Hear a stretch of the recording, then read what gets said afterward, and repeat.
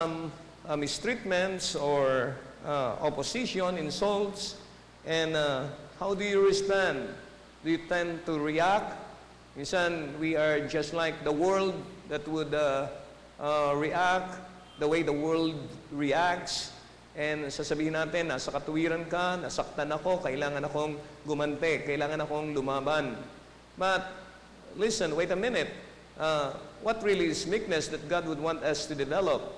Oh, there is another scholar, Kenneth Wuest. He describes meekness as temper of the spirit, in which we accept all circumstances of life, even mistreatment and injustice, with patience and without a spirit of retaliation. You know, this is one thing that we need to develop amongst us believers. Accept even mistreatment and injustice with patience and without a spirit of retaliation. Oh, Charles Haddon Spurgeon explains meekness as an entire submission to the divine will, to God's chastening, as well as his, to his teachings. The truly meek are also gentle towards their fellow men. Uh, these meek people bear and forbear and forgive even though they have just cause for resentment. Are you in a situation where you have the just cause for resentment, but instead of reacting, instead of trying to get even, you have that, uh, that kind heart to bear, to forbear, to forgive. Now, they also can continue to live with much perseverance, and such people are also lowly in themselves. If thou hast a right idea of thyself, thou art so little and so inconsiderable that whoever affronts thee a mere nobody, so it does not matter. Sometimes you might be thinking, I'm, uh, I'm uh, uh, the person to whom the world revolves around.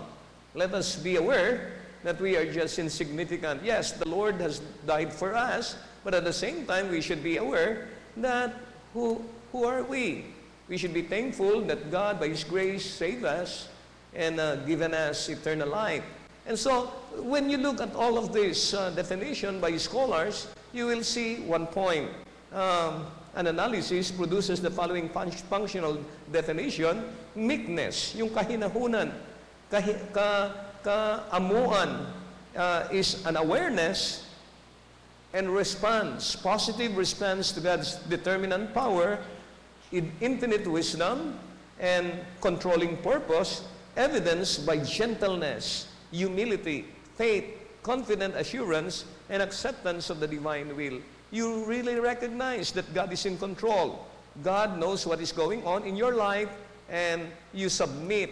You have that uh, awareness and uh, response to God's uh, uh, determinant power and infinite wisdom and controlling purpose.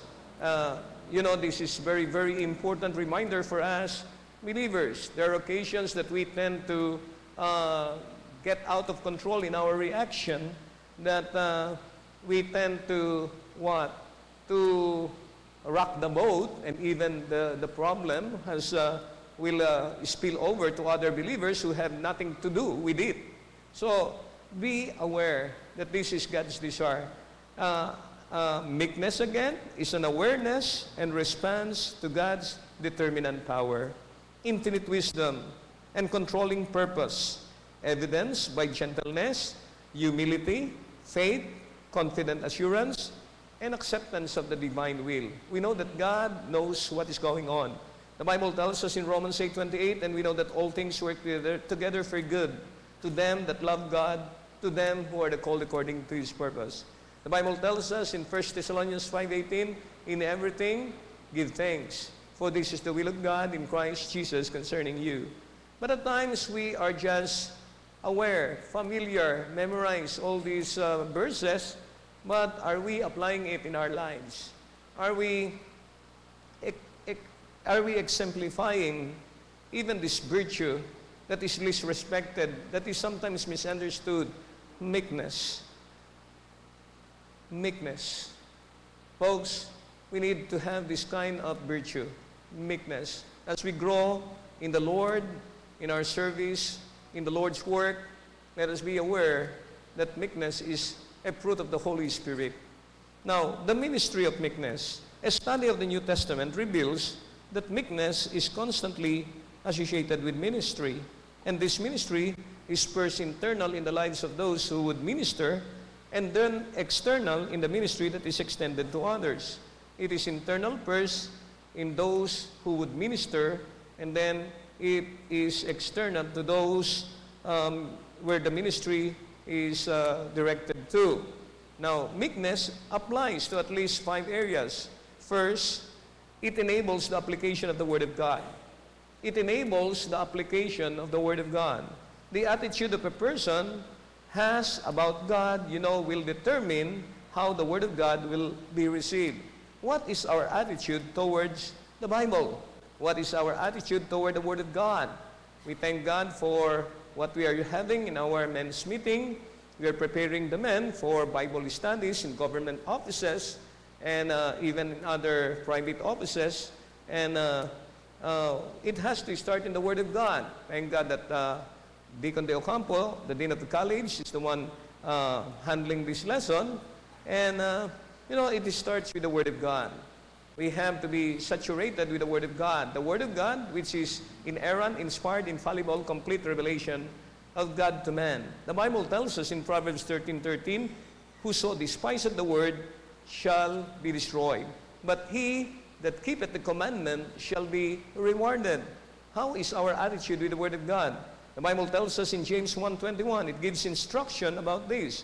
Wherefore, lay apart all filthiness and superfluity of naughtiness, and receive with, look at that, receive with meekness the engrafted word which is able to save your souls. When a Christian approaches the Bible with a spirit of meekness, you know, he or she is able to accept its instruction even though it brings conviction and even if the instruction is difficult to understand. Ganyan po ang isang tao na may uh, virtue ng kahinahunan, na may virtue ng uh, kaamuan. He is able to accept uh, the instruction of the Word of God, even though it brings conviction to his soul, to his mind, and even if the instruction is difficult to understand. Understanding that God's infinite wisdom and controlling purpose is at work in His Word opens the way to receive it. Oh, this becomes a vital element in the application of Scripture to a Christian life. When you know that that is God's Word and that is for you, the rhema of God, as, as the preacher preaches, the pastor preaches, you know that it is God's Word directed to you. There are times that they are wondering, Pastor, bakit nyo nalaman na yun ang pangangailangan ko? Sino po nagsabi sa inyo na ganito po ako? Wala akong alam dyan eh. Basta, I just preach the Word.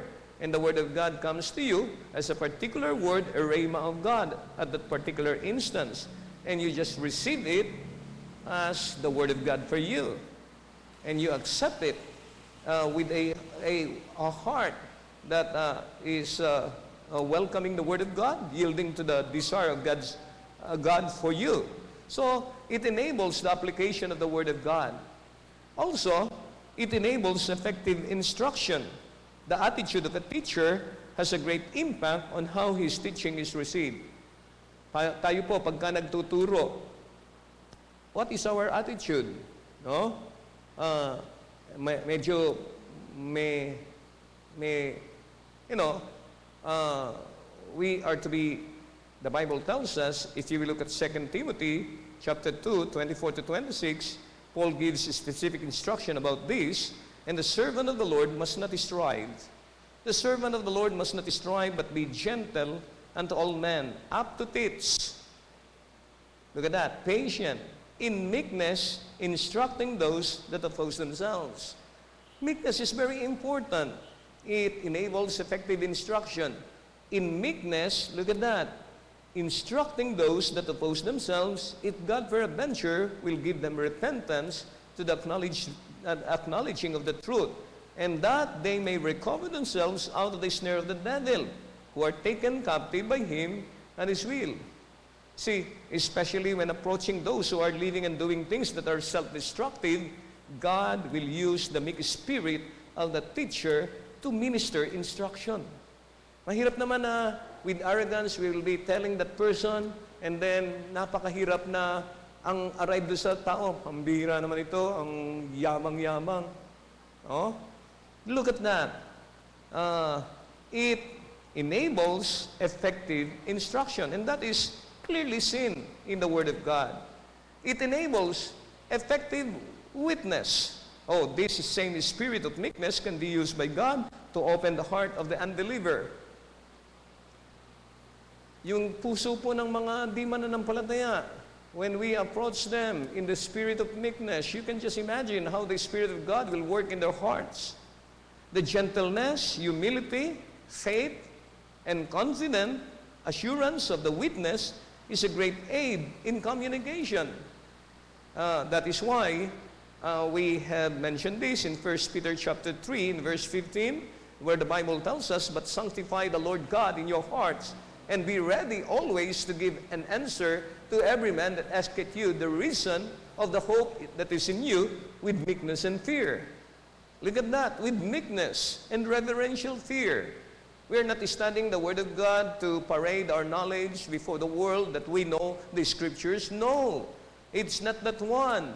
We thank God that we can be instructed from the Word of God, and when we are given the opportunity to teach the Word of God, we are to teach that in meekness.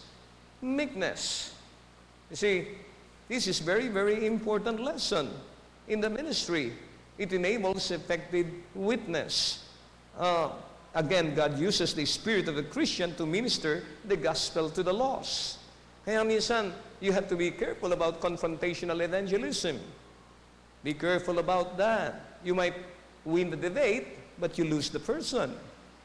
Oh, we thank God that we can be armed with the uh, uh, tools as we study in Bible school. But we have been always telling uh, sanctify the Lord God in your heart. Be ready always to give an answer to every man who asks you the reason of the hope that is in you. But how do you do that? With meekness and fear. Meekness and fear. No one knows everything. It's only by the grace of God that we are able to uh, understand the deep things of God by His Spirit, and we, we share what we know. We thank God that that we know what we believe and why we believe what we believe. But at the same time, as we go out there and witness, we should be aware that it's only by the grace of God that we have this, this knowledge. We do not arrogate ourselves and tell them that we are the only ones saved and you are going to hell. Folks, our study is not for us to argue, to debate, but it is for us to be used by God in explaining with meekness and fear what we know. When we go to these government offices and uh, private offices, as we conduct Bible studies, oh, you know, the attitude of the teacher is very important as we communicate the Word of God. It enables effective witness. Also, another ministry uh, of, of, of uh, meekness it empowers spiritual influence. Oh, there is probably no more difficult situation than a saved wife trying to win her unbelieving husband. Oh, the Apostle Peter deals with this problem. If you will look at 1 Peter chapter 3, you will find in here in verse 1 to 4, it is significant that the meek spirit is declared to be essential if the husband is to be won. Look at that in verses 1 to 4. It gives the inspired instruction, likewise. Look at that. Likewise, ye wives, be in subjection to your own husbands, that if any obey not the word, they also may without the word. Look at that. If any obey not the word, they also may without the word be won by the conversation of the wives. While they behold your chaste conversation coupled with fear, whose adorning let it not be the outward adorning of plaiting the hair and of wearing of gold or of putting on of apparel, but let it be the hidden man of the heart in that which is not corruptible, even the ornament of a meek, the ornament of a meek and quiet spirit, which in the sight of God of great price. You can look at the Word of God, and the Word of God is always consistent. Folks, of the power of this Spirit, Matthew Henry writes, the finest ornament of a Christian woman is a meek and quiet spirit, a tractable, easy temper of mind, void of passion, pride, and immoderate anger, discovering itself in a quiet, obliging behavior towards their husbands and families. You see, there is no way so likely to win a husband as a prudent, meek behavior of the wives. I hope you understand. As we look at the Word of God, you can see the ministry of meekness. It also assists in spiritual restoration. It assists in spiritual restoration of familiar passage, Galatians 6.1. An important spiritual ministry is restoring those who have fallen. You know, how many of you have been engaged in this, involved in this? Restoring those who have fallen. Sometimes, we'll be having that arrogant spirit, ah, buti nga, nagkasala, ah, tanggal ka na. But you not behave like that. You do not know when your time will come. You be very careful. See, uh, the Lord commands that those attempting such a restoration ministry possess the spirit of meekness. In Galatians 6.1, Brethren, if a man be overtaken in a fault, ye which are spiritual, restore. Look at that. Ye who are spiritual, restore. I've been always telling that restoration here is very, very painful at times. When you restore someone, it takes pain because the Greek word is katartizo, which means to put back into alignment. And just like a joint uh, a, a, bone out of joint, put back into the alignment at uh, what is that hospital, Brother John? At the orthopedic, oh? And you can just imagine, pagka, napapaluha ka. Isang ganyan. Restore. When you restore someone, it has to be done in the spirit of meekness. The spirit of meekness considering thyself, lest thou also be tempted. Consider yourselves. Baka ikaw na nagsasabi nito, baka mamaya ikaw naman ang susunod. You check yourself.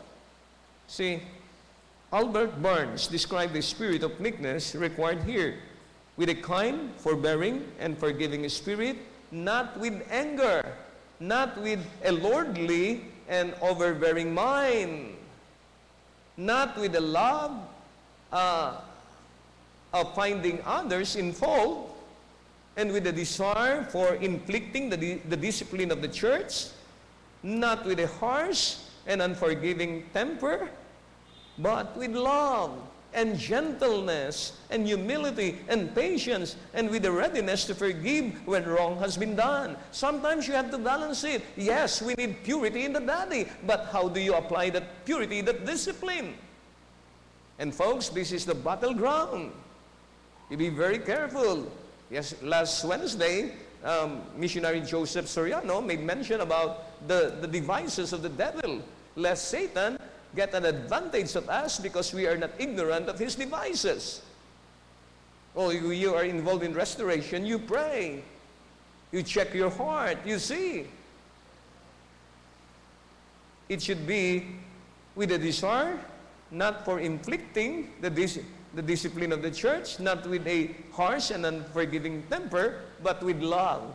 With love and gentleness and humility and patience, with a readiness to forgive when wrong has been done. Oh, if you will just put yourself in the place of that person and the family of those that are affected because of what has happened, how would you respond? How would you react? This is a lesson that we really need to understand.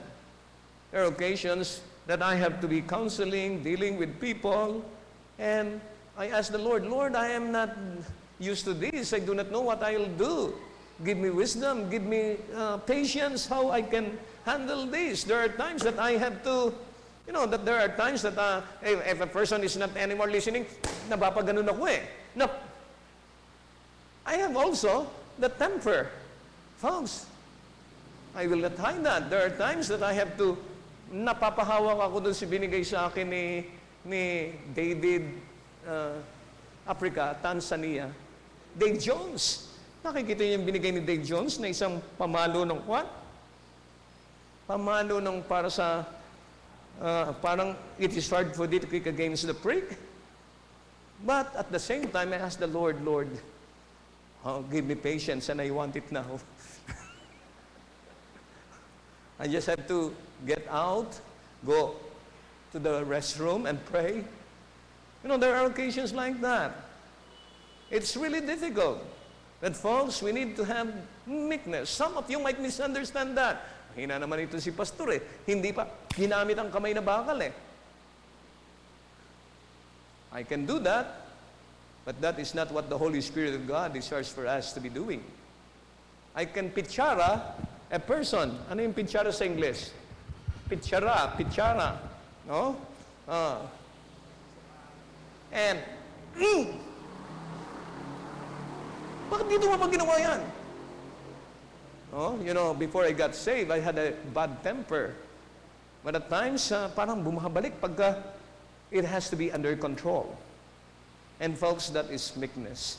Meekness assists in spiritual restoration with love, with gentleness, with humility and patience, and with the readiness to forgive when wrong has been done. And this is an essential qualification for restoring and recovering an offending brother. Oh, no man should attempt to rebuke or admonish another who cannot do it in the spirit of meekness. Let me repeat. No one, no man should attempt to rebuke or admonish another if you cannot do it in the spirit of meekness. This is really very important ministry. The ministry of meekness. It enables the application of the Word of God. It enables effective instruction. It enables effective witness. It assists. It empowers spiritual influence and it assists in a spiritual restoration. Oh, let's look at the models of meekness. An example is Moses. Although the Bible presents several examples of meekness, two outstanding examples we can cite in here. First, the example of Moses. He was the leader who called down the, uh, the ten plagues upon Egypt. Uh, he led the children of Israel out of bondage. You know very well, Moses. And he brought down the Ten Commandments from Sinai. Yet, Moses is described as the meekest of men. Remember Moses? He's described in the Bible as the meekest of men. If you look at Numbers 12.3, it says, Now the man Moses was very meek, very meek, above all the men which were upon the face of the earth. His conduct, when faced with opposition and adversity, make an excellent study in meekness. We do not have the luxury of time to go through of the, all of this, but you can see, minsan, dumating na din kay Moses yung, ano eh, yung uh, pagka, pagka umapaw na, kailangan kalusin mo na. Kaya, he, what did he do with the rock? Instead of speaking to the rock, he strike the rock. Minsan dumadating din yan.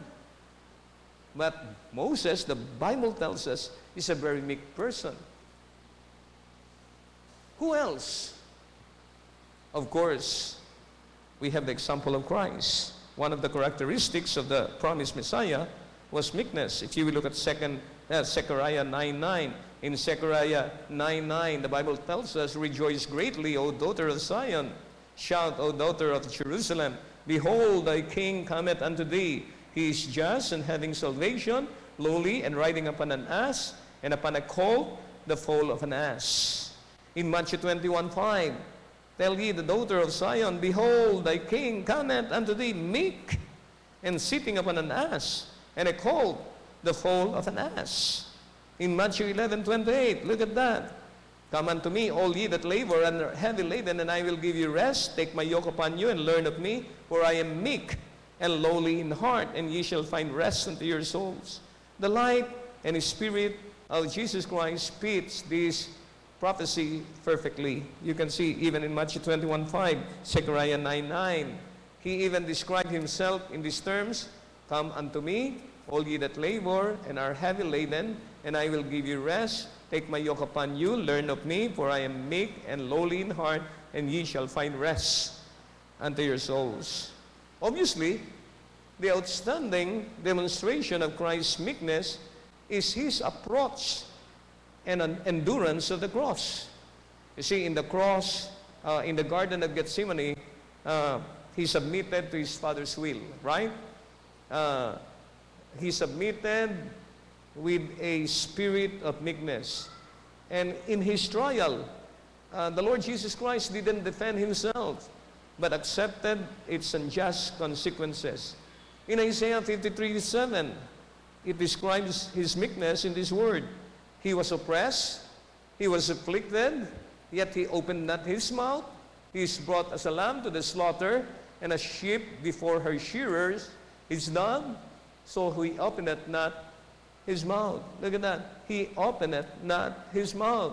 Oh, before Pilate, he again demonstrated meekness when he said, if you will look at John 19:11, thou couldst have no power, thou couldst have no power at all against me, except it were given thee from above. Therefore he that delivered me and to thee had the greater sin. Finally, Christ's meekness is expressed even in the words in Hebrews chapter 12, in verse 2 to 3. Looking unto Jesus, the author and finisher of our faith, who, for the joy that was set before him, endured the cross, despising the shame, and is set down at the right hand of the throne of God. For consider him, look at that. For consider him that endured such contradiction of sinners against himself, lest ye be wearied and faint in your minds. Christ's attitude, folks, Christ's attitude of meekness was the result of his knowledge of his Father's determinant power, infinite wisdom, and controlling purpose. What he was going through, he knows that this is in God's sovereign plan. Determinant power, infinite wisdom, and controlling purpose. Oh, you can look at other examples, that, but the one that we had at this time, they are excellent examples of those people uh, who had uh, demonstrated this virtue of meekness. And no one can beat the Lord Jesus Christ and even Moses. Now we move on to the method. The method for meekness. Paano ba natin ma-achieve ito? Paano ba natin ma-develop ito? Okay? God, you know, in His great love, provide meekness for the believer as an element uh, of the new birth, the ministry of the Holy Spirit, and the pursuit of godly life. That should be our pursuit in our Christian life. Uh, develop this virtue. It is an element of the new birth. Oh, at conversion, the new birth imparts meekness as part of the divine nature that makes us like Christ. If you look at Colossians chapter 3, in verse 10 and 12, it declares that the Christian is to let this virtue have expression and have put on the new man, which is renewed in knowledge after the image of him that created him. If you will look at verse 12, if you will jump to verse 12, the Bible tells us, Put on therefore, as the elect of God, holy and beloved, bowels of mercies, kindness, humbleness of mind, meekness, long-suffering. When you look at all of this, kindness, humbleness of mind, meekness, long-suffering, all of this, you know, brethren, this is what the Lord would want to develop in us. Hindi yung mga pakitang tao yan o pa-effect. It should be coming from inside. The influence of the Holy Spirit of God in our lives. And when we are controlled or filled by the Holy Spirit, you can just imagine what happens outwardly. You see, it is an element of the new birth. when we are indwelt by the Holy Spirit of God, the Holy Spirit of God desires that we be infilled by Him, be controlled by Him. And the Bible tells us, put on therefore as the elect of God. Are you not God's elect? You are saved? Elect of God. holy and beloved bowels of mercies. What are we to put on? Are we truly merciful?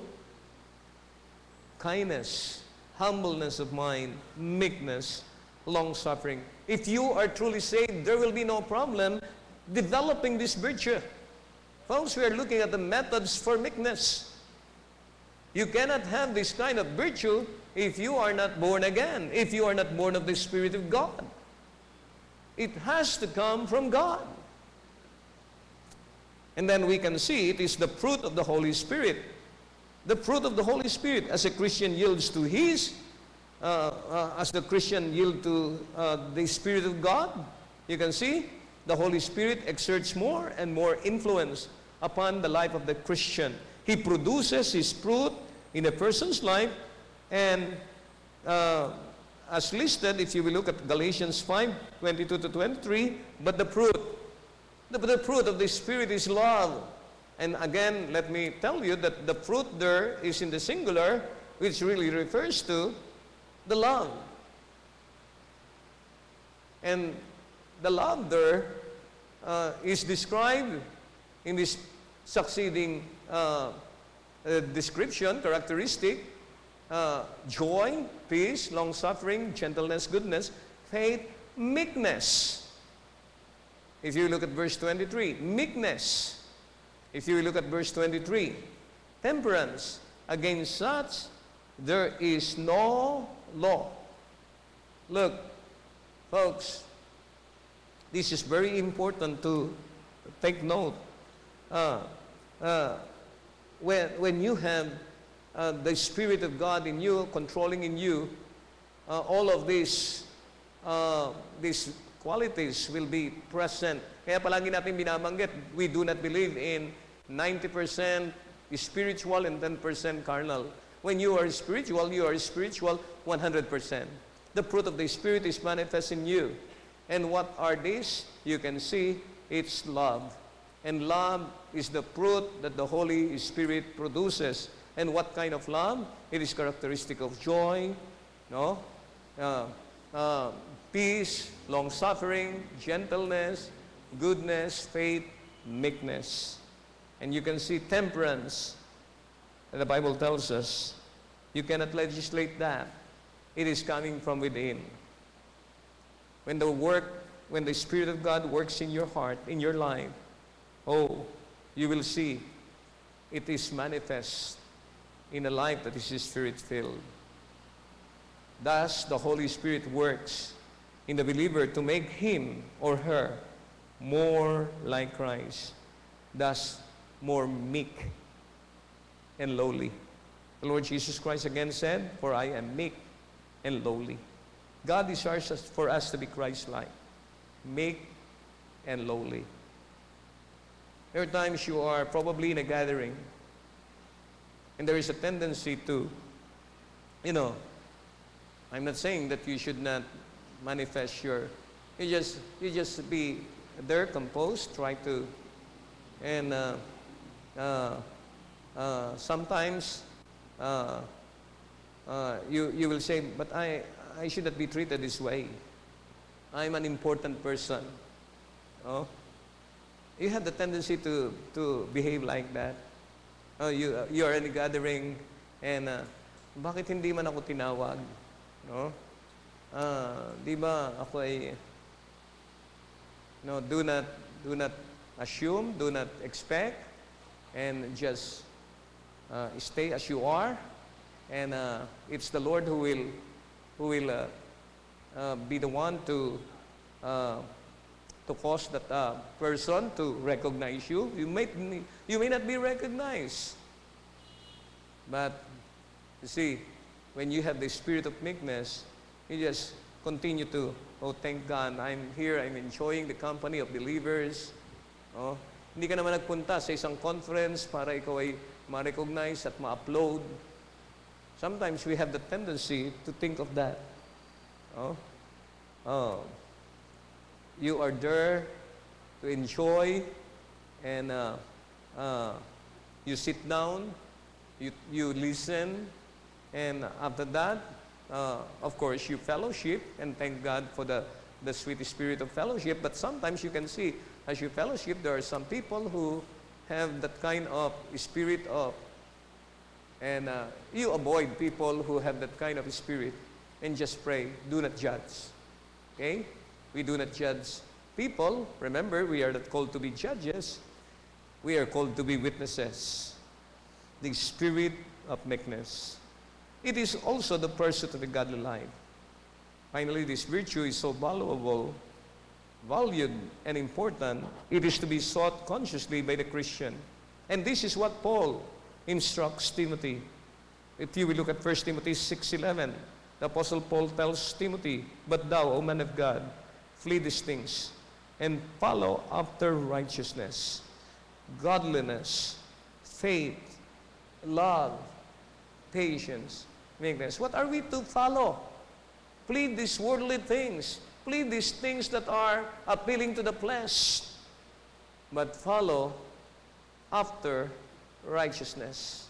We thank God for the righteousness of God here in His book. Godliness, faith, love, patience, meekness. And it is also to be an element of a Christian spiritual calling. If you look at Ephesians chapter 4, verse 1, what does the Bible tells us? Verse 1 and 2. The Bible tells us, I therefore, the prisoner of the Lord, beseech you that ye walk worthy of the vocation wherewith ye are called. In verse 2, with all lowliness and meekness, with long suffering, forbearing one another in love. As with other virtues, this one can be sought through prayer, study, and careful monitoring of one's attitudes and actions.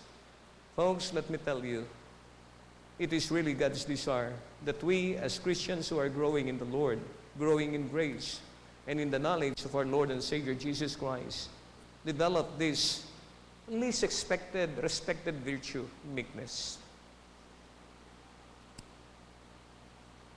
Submission, patience. It is all encapsulated in this. And when we look at the end, the majesty of meekness, oh, this virtue is elevated by Christ. And it is linked to important promises in God's Word. The Bible tells us the meek are beautified with salvation. If you will look at Psalm 149, verse 4, For the Lord taketh pleasure in his people. He will beautify the meek with salvation.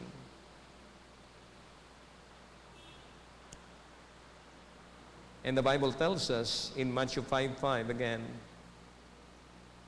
Blessed are the meek, for they shall inherit the earth. These are marvelous rewards for allowing God's determinant power, infinite wisdom, and controlling purpose to dominate our spirit to produce meekness. Are we in this category? Are we truly desiring this virtue of meekness? It is for those who are saved, it is the fruit of the Spirit, and it is the pursuit of godly life. Folks, we have been exposed or given a lot of lessons from this pulpit, and I hope that even with this reminder, it might be a simple reminder for us, but this is God's desire that at times we tend to ignore in handling conflicts, in handling differences. I would to God that we will truly exemplify the virtue of meekness. In handling even Bible studies, in communicating the pure Word of God, let us exemplify the virtue of meekness. You can be preaching the Word, sharing the Word with confidence, dynamism, but inside there is still that awareness that without the Spirit of God, we are nothing. Without God working in our hearts and enabling us to communicate the truths to others, wala po tayong magagawa. We are not doing the ministry para magpasikat.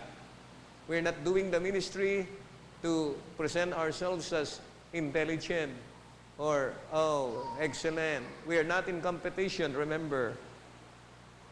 We are to be having that spirit of meekness always. And as you look at this ministry, uh, uh, needs, qualifications, it helps us in our application of the Word of God. It helps us, even enables us to uh, uh, restore uh, effectively another brother who has uh, been in fault, in sin. And many of these uh, uh, benefits that you can think, meekness. God desires us to have a meek and quiet spirit and allow the Lord to work in the heart of that other person. Folks, we do not control the heart. It's the Lord who controls the heart, the mind.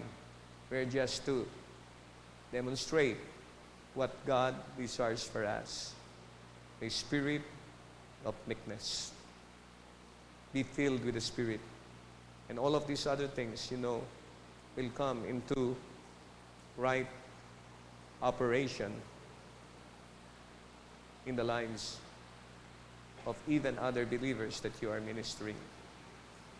I don't know how the Lord has spoken to you. Maybe you have someone you have a bitterness against, or you have aught against a person. No? You're offended, or you're the offender. What is the Bible telling us? Approach that person. Get things right. It's not about you, it's not about that person, it's about God's grace in your life. And let us truly recognize that God desires for us to humble ourselves and make and quiet spirit knowing who God is. Who do you want to defend you?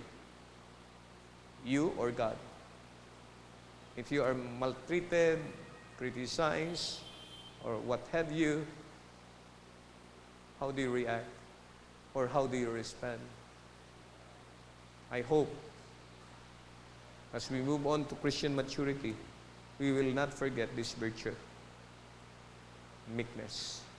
With meekness and fear, we share the Word of God. Every head bowed, eyes closed, as you quietly stand to your feet. Almighty God and loving Father, thank you for this reminder. We need this lesson. We need this reminder. And we pray, Father, that you will help us to truly develop this virtue. By your grace, by your enabling power, we can do so. And we pray, Father, that you will just continue to manifest your great grace upon us, your people. Lord, there are times that we tend to ignore this uh, virtue that you would want us to develop. Help us to truly recognize that it is your desire for us to be different from the rest of the world. And when we do so, Lord, you are the ones who will work in the hearts of even those who oppose us. Lord, continue to help us to have a responsive heart, a heart that truly submits to your desire. Even now, Lord, as we have this altar call, your invitation, Lord, help us to have a heart that really is tender for your design.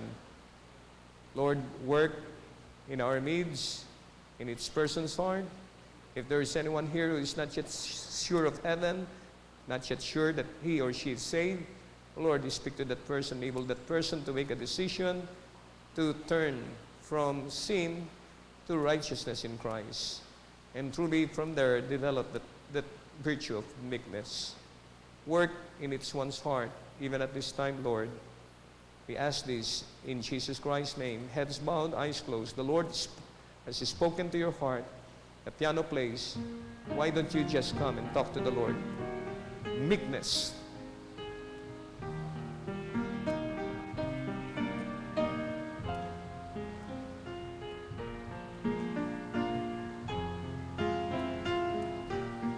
Will you come?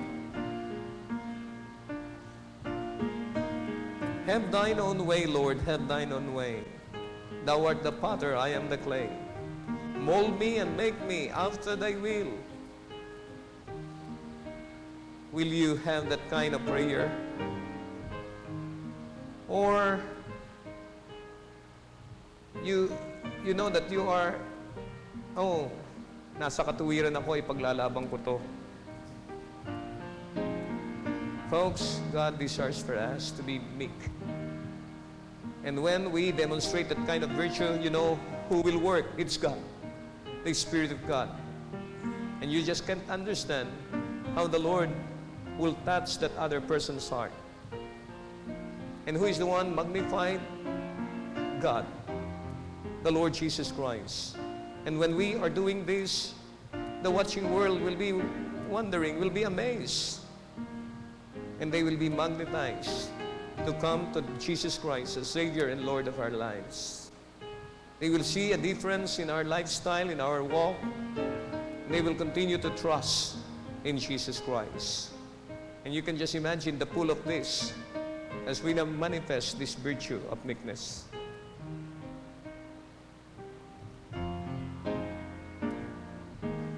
Maybe there is somebody here who need to follow the Lord in baptism, to transfer his membership, whatever that decision is, will you come even at this time?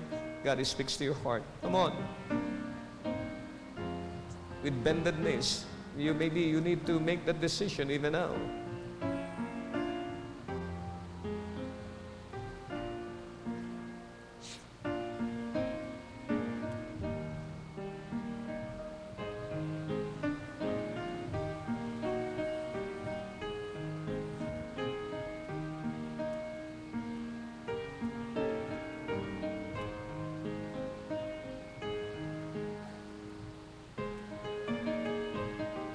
God for Yosiko and Noriko. What is it that God would want you to, to do?